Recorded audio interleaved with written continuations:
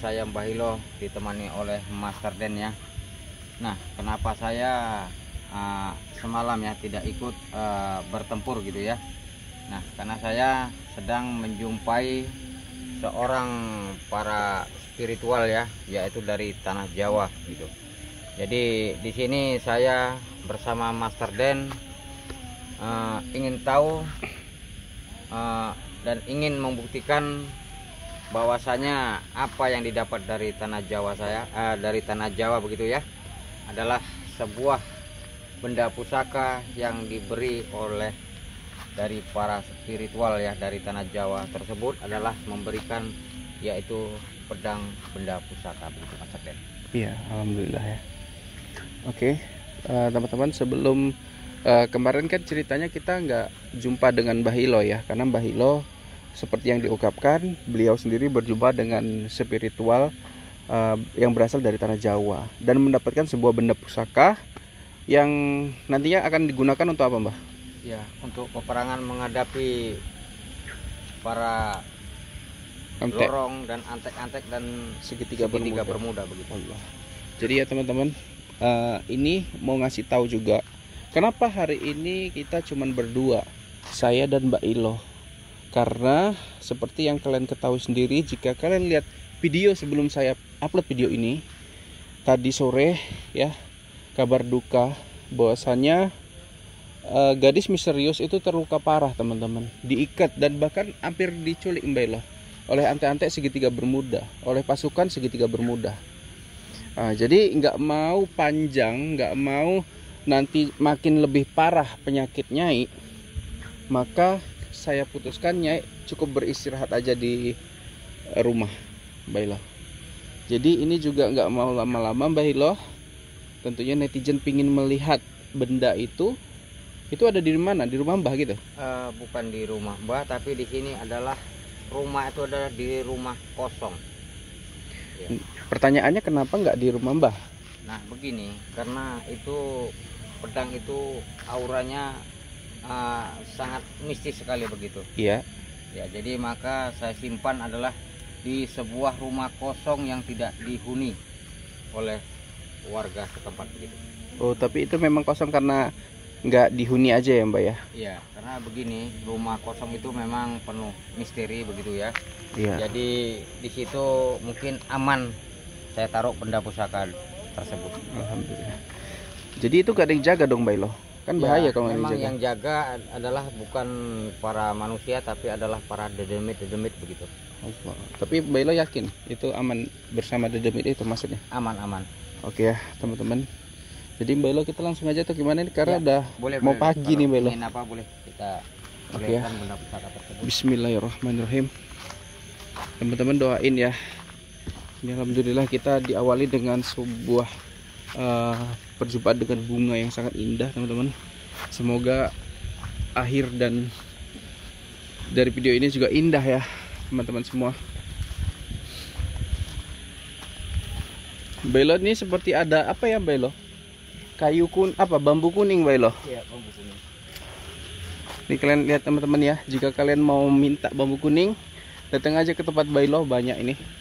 Nanti dikasih tahu lokasinya kan Bailo ya, Loh ini titiknya udah nggak ada teman-teman.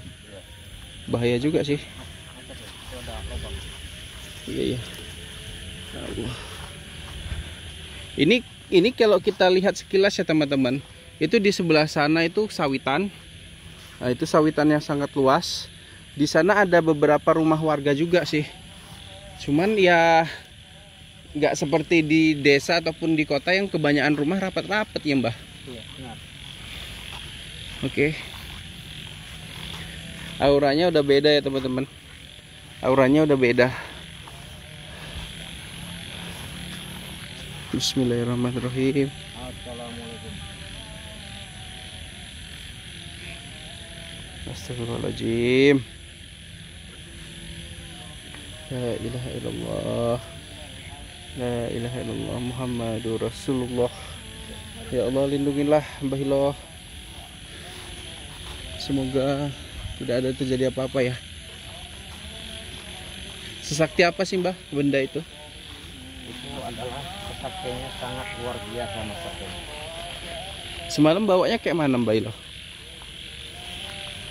Dari berat gitu ya Mbak Ilo? ya berat Lantas kenapa Mbak Ilo nggak kabarin sih kalau Mbak Ilo mau bawa itu gitu loh? ya karena ini bawa benda pusaka ini eh, sangat dirahasiakan mas Adrian Iya bisa. karena nanti kalau eh, kita bocorkan kita heboh-hebohkan nanti para antek-antek uh, mengintai kita mas, mas. Iya iya.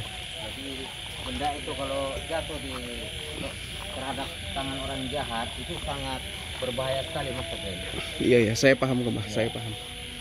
Ya, ya soalnya kemarin kita carian Mbak Ilo gitu. Gimana sih Mbak Ilo? Nyimpen ya. Duh. Di mana sih Adrian. Mana? Ini pohon Mbak terlihat Loh, loh, loh, loh. Itu kok ada bungkusan berwarna emas Mbak mas Ya teman-teman ya kalian bisa lihat itu benda berwarna emas. Cuman nggak tahu itu apa itu.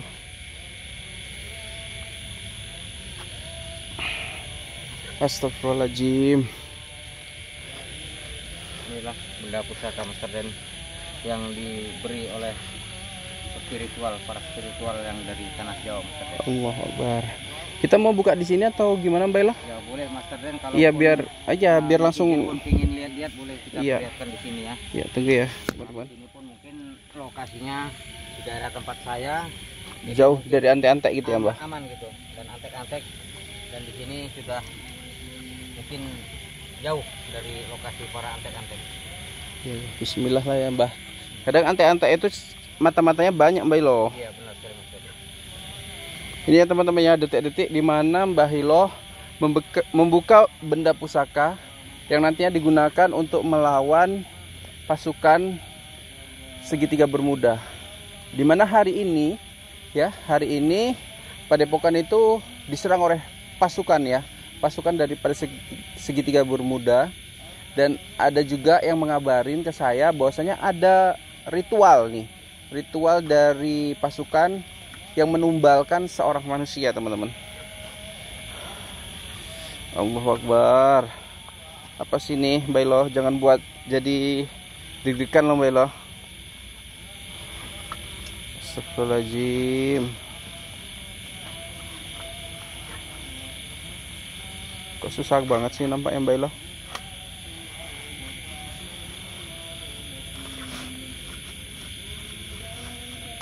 Allahu Akbar Allahu Akbar Bailo Bukankah ini pedang yang pernah kita pegang Bailo? Oh beda Mas Den. Ken- Apa bedanya Bailo? Pedang ini adalah banyak jenisnya Mas Den. Iya sih. Nah begitu dan Iya. kesaktiannya pun sangat berbeda-beda Mas Den. Iya iya be- iya iya iya. Saya ngerti Katanya Bailo sangat berbeda-beda. Iya ya saya saya saya paham lah maksud Bailo Oke teman-teman kayak mana? Kalian sudah melihatnya. Ini adalah eh, sebuah pedang yang kata Mbah Hilo tadi berasal dari tanah Jawa gitu ya Mbah Hilo ini sih kita nggak bisa main-main lagi sih teman-teman. Karena padepokan terus-terus diserang gitu terus-terus diserang dan mereka ini baru-baru ini juga menumbalkan seseorang manusia gitu Mbak Ilo Iya. jadi Mbak Ilo gerak cepet juga lah Mbak Ilo Iya. kasihan loh Dan pedang ini pun Mas Den Heeh. ini eh, bisa membantu untuk ketika kita lemah pedang ini Allah Mbak mana apa tuh, Mas Den? Seperti ada yang di belakang tadi saya. Seperti ada yang di belakang. Mbak Ilo bisa cek kan? Sosoknya dua orang gitu Mbak Ilo. Siapa sih ya? Di belakang saya pas tadi Mbak Ilo. Coba ditolong Mbak Ilo. Astagfirullahaladzim. Para antek-antek telah mencium baunya atau benda ini Mbak Ilo? benda ini Mas Den apa dia ngikutin saya Mbak Ilo bisa jadi begitu Mas kalau gitu ini pedang nggak nggak bisa disembunyikan di sini lagi dong Mbak Ilo benar sekali Mas Astagfirullahaladzim kalau gini ketahuan dong Mbak Ilonya ini punya benda sakti ini teman-teman Belo, ini ini jangan digunakan di sini lah Belo. Saya takut Belo. Udah nanti pada saat pertempuran aja Belo. Bentar Master Den. Agar dia supaya menjauh dari pedang ini Master Den. Allahu Akbar. Hati-hati Belo. Allahu Akbar, la ilaha illallah. Astagfirullahaladzim. Oke teman-teman. Nah itu apa itu? Itu apa itu? Tuh, tuh. Kalian lihat nggak sih cahaya itu? Bailo lihat nggak sih cahaya itu Bailo? Nah itu itu. Jangan-jangan itu antek-anteknya Bailo. Teman-teman ya, antek-anteknya yang saya ketahuin itu nggak nggak manusia aja sih, ada hewan-hewan juga soalnya. Sudahlah mengintai eh, benda pusaka ini Master Den. Ini kalau direkam juga bakalan tahu. Jangan-jangan antek-antek juga sudah eh, ada yang manusia yang juga sebagai antek-anteknya Iya. memantau-mantain terus video kita, Bailo. Nah itu itu juga itu itu, itu. Kalian lihat nggak sih dari jauh? Ini kayak ada mau mati-matain kita loh teman-teman semua. Nih, ah, lihat itu tuh tuh tuh. Ini udah dikasih udah jelas Bailo diketahuin lo lokasi kita nih Bailo. Lebih bagus ya. Video ini kita putus aja Bailo. Ya ini kita amankan dulu sebaiknya kita taruh di rumah saja agar supaya aman. Oh. Jadi ketika nanti untuk bertempur mudah-mudahan benda pusaka ini dapat kita gunakan gitu. Ya. Tadi Mbak bilang di rumah nggak apa bahaya kalau di rumah. Eh, Yang penting Bahilo simpen lah. Saya nggak tahu di mana yang pasti aman bah. Jangan sampai benda-benda ini kembali lagi di tangan mereka loh Bahilo. iya, benar sekali. Jadi di rumah pun ini nanti saya pagari oleh eh, benteng gaib gitu. Jadi sehingga eh, para tetangga-tetangga ataupun para yang ada di rumah itu tidak mengetahui adanya benda pusaka ini. Iya iya iya. iya. Jadi, Saya ngerti Bahilo. Benda itu aman. Oke Bahilo. Eh, mungkin sampai sini aja ya teman-teman. Karena kalau diliput terus nanti ante-antenya bisa tahu loh dari melihat video ini loh. Iya iya. Jadi Oke ya. begitu cepatnya kita amankan benda ini Mas Den. Oke oke oke. Bismillahirrahmanirrahim. Ya, jadi sampai di sini dulu. Assalamualaikum warahmatullahi wabarakatuh. Waalaikumsalam. Mari Mas Den. Iya iya Bahilo. ya. Silakan silakan. Nanti akan Iya iya. Oke oke ya teman-teman. Saya tutup dulu. Ya. Wabillahi yang mengintai Mas Den. Oke, wabillahi taufiq wal hidayah. Assalamualaikum warahmatullahi wabarakatuh.